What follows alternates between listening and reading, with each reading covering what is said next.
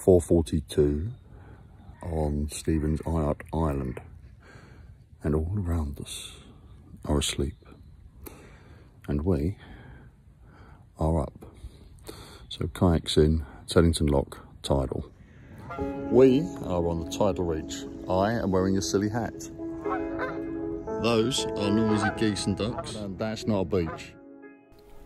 Although we started really early, the tide had already fallen some by the time we got into the tidal reach. We aimed to get as far down the river as possible before having to get out and wait for the high tide again. We made it to Putney, where the Thames Rowing Club went above and beyond to welcome us and make us anyway, comfortable whilst we waited I need food, and where better to go? And the Thames Rowing Club followed by Cleavers on the hoof with stuff. and here we have the beautiful. Hello, Nikki. And you are? I'm Lizzie. Hello, Lizzie. Hello, Lizzie. And look. Of course. Eat from this place. There's burgers. And then and there's, there's burgers.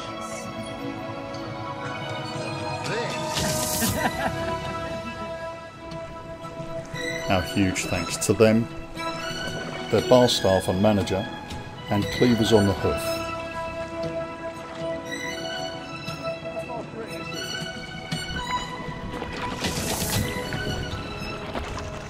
Give us a lift to Southend.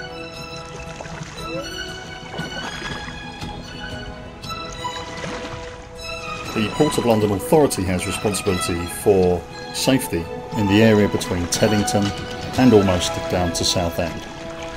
There's some heavy and fast shipping operating in this area.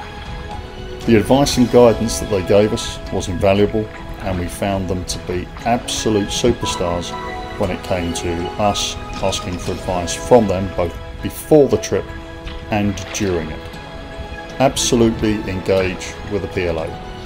Their control rooms are excellent and super helpful.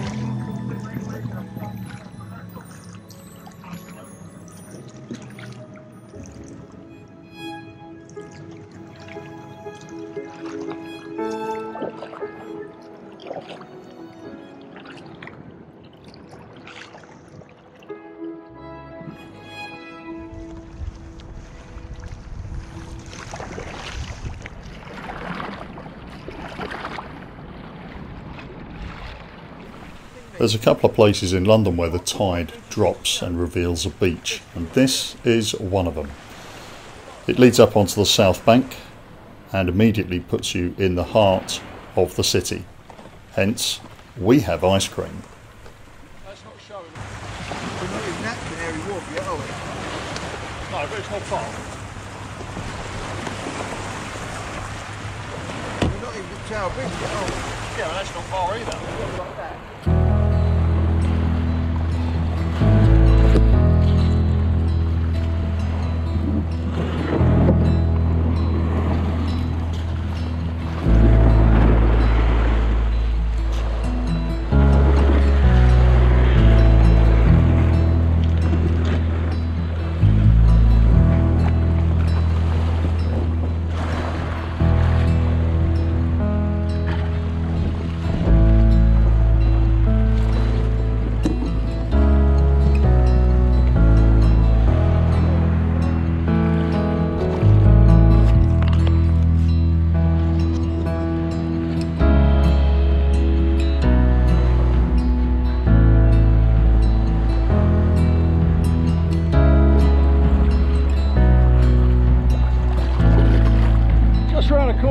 Just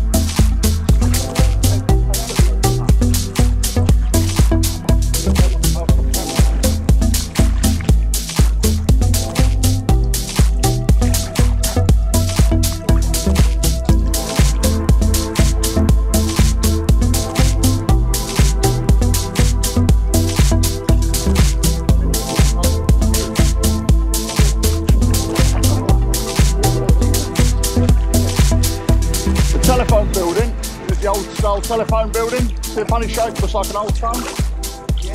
On this side of it, you see it's all slatted now. Well, it wasn't like that originally, it was just glass windows. Unfortunately, the designer failed to recognise the fact that he built it south facing. So when the sun came up, it hit that, which acted like a mirror and was burning the paint off the cars in the street. So they had to put those uh, horizontal slats in to diffuse the light.